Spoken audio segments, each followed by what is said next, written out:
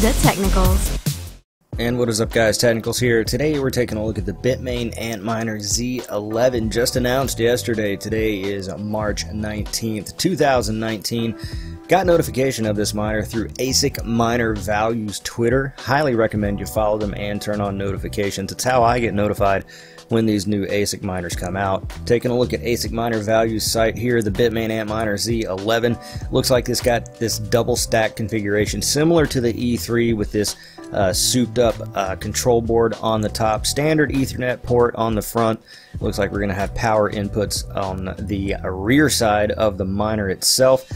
Little bit different of a configuration, no rear fans pictured. Currently listed as taking in $11.91 per day. If you're no stranger to the ASIC game, to the mining game in general, you know these figures only go down. That is, unless the market takes a takes a volley and goes through the roof. We don't expect that anytime soon. 1191 a day is quite a lot, especially compared to any of the other Equihash miners right now, which are pulling in significantly less. Z11 is rated at 135,000 sols per second, consuming about 1500 watts of electricity. So, if you're mining at home and you're on a 20 amp circuit, you could run one of these things. It'd be the only thing that you could run on there, and you'd barely be squeezing by. And there's questions in there about safety. However, many of the other miners that are in this range of speed really require 240 or 208 you can squeeze by on residential service on this thing. Looking at some of the other specs here, it is a big beefy monster, that double stack configuration, and it is not light. 5,400 grams, it's five and a half kilos.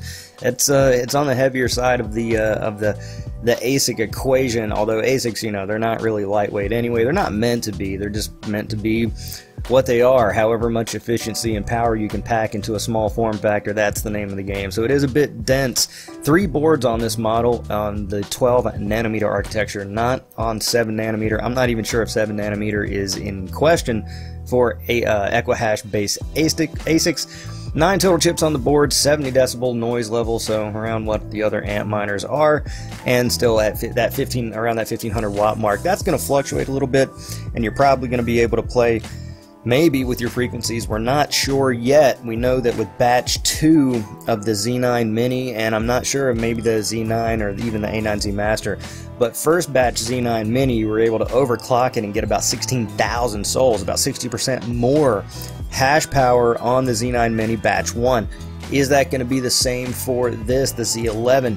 Because we know Bitmain turned off that functionality for batch 2 Z9 minis. Are they going to do that with this model to prevent people from getting insane hash rates? I would think no, because the Z11 may indeed be uh, the one of the last ditch efforts from Bitmain to save their company. We know that they've had a lot of trouble here over the past year as profits are down, as people exit, get out of Bitmain, as their ICO on the Hong Kong, or not the ICO, the IPO on the Hong Kong Stock Exchange did not pan out for whatever reason. I don't know the news there. Comment below if you know the details of that.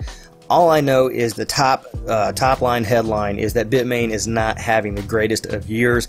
Is the Z11 their silver bullet? Hopefully to pull out uh, and save their company, keep it moving forward. I would say this is a, a case of that because Bitmain is cannibalizing their existing Equihash ASICs. The Z9 Mini, the Z9 are completely blown out of the water by the Z11. So they're going to have a lot of pissed off miners, people who adopt the Z9 Mini, the Z9, the Batch 2, so on and so forth. They're going to be pretty pissed because they had no time whatsoever to recoup uh, their investment on those miners before they go and release the Z11.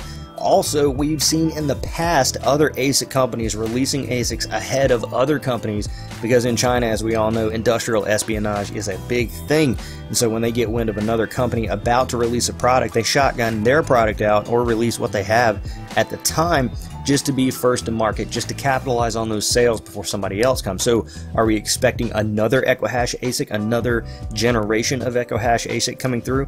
We already know the ASIC Miner Co. Um, uh, Zeon came out last year getting 180,000 sols, but that thing was a giant beast with water cooling. VoskCoin did a review. The thing was a total POS.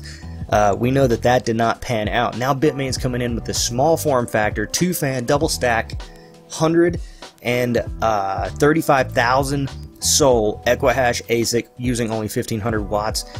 Terrific improvements in efficiency.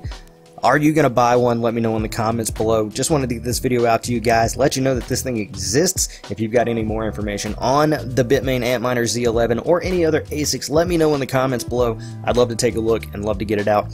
Be sure to subscribe to me on Twitter. I'm at The Technicals, also on Instagram at The Technicals. Head into our Discord, type discord.thetechnicals.io into your browser, takes you straight into our Discord, or just click the link in the description below. I'm The Technicals. See you next time.